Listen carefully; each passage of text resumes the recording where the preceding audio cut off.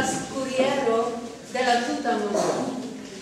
Li portis al mi novaĵon kiun kelkaj jam eble scias, sed multaj tute ne aŭdis. Kaj la novaĵo eh, estas tre grava afero ĝuste nun giuste ci tie antau tiui ci homoi. Kai estas ancau simbolo che estas giuste mi kiu transdonas gin al vi temas pri tio che en Esperantujo iam de kelkaj jaroj oni elektas la esperantiston de la jaro. Kaj mi kiel la esperantisto de la jaro 2010 havas nun la honoron transdoni la torĉon al esperantisto de la jaro 2011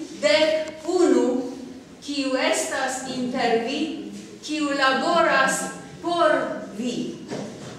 Bonvolu denis kie vi estas? Bonvolu veni kaj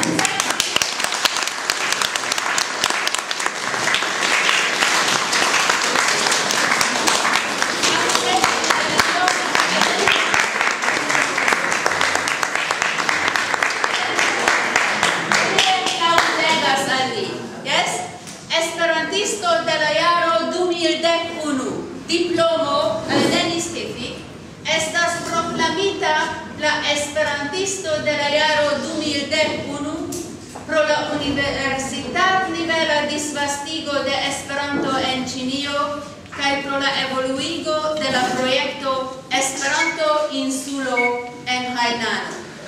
La sekretario de la komisiono Halina Gurecka kaj la redakto ondo de Esperanto Alexander Korženko. Transdonas al vi portita fresce de Eŭropo katolikova.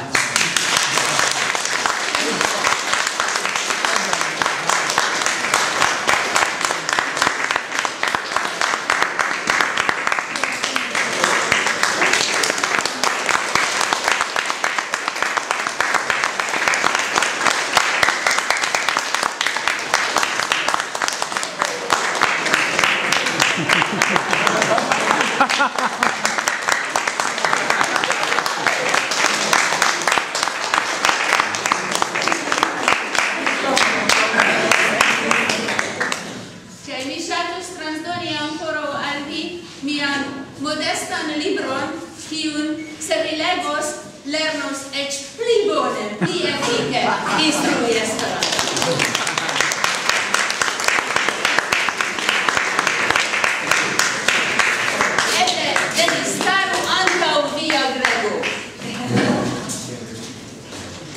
Eble ni filmu, ki estas la kolego. Staru tien, ke iom amasiĝu, ke oni vidu